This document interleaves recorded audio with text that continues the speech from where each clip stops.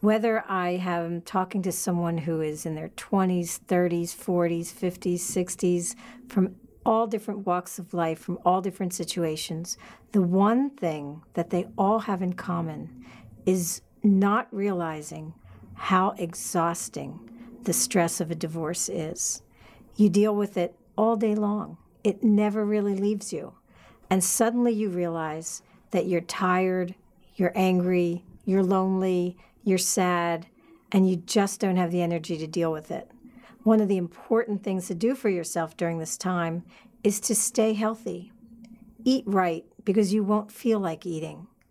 Exercise, even though it seems hard to do. Get as much sleep as you can. You'll probably wake up with checklists of things that you wish you'd done or need to do, or conversations you never finished, or an argument you had with your ex. But before getting up and letting the night go by, do whatever you need to do to get back to sleep. Take a warm bath, read a book, watch a movie, a quiet movie, but do things for yourself that allow you to have the energy to face the next day. Also, be careful about what you do to remember and to grieve.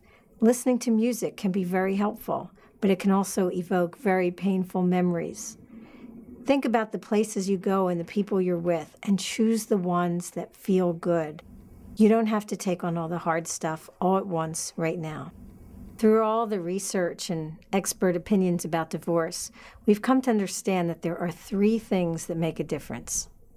The first is if you have children, continuing to provide warmth, consistent discipline, and structure be the parent you always were and you always want to be.